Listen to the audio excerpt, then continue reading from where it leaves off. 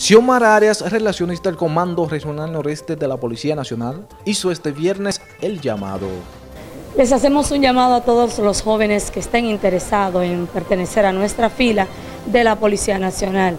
Ya para este jueves 12 de este mes eh, vendrá para acá, para San Francisco de Macorís, a esta Dirección Regional Noreste, una comisión desde la ciudad de Santo Domingo, una comisión del Departamento de Recursos Humanos para evaluar a los jóvenes interesados en pertenecer a la Policía Nacional.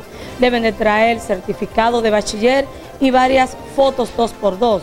También tienen que tener otros requisitos, entre ellos no pueden tener tatú, tampoco deben tener perforaciones en las orejas. Las edades son de 18 a 24 años de edad.